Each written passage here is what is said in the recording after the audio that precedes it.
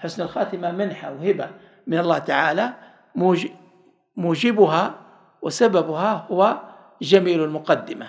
فالخواتيم نتائج وهي ثمرة مقدمات.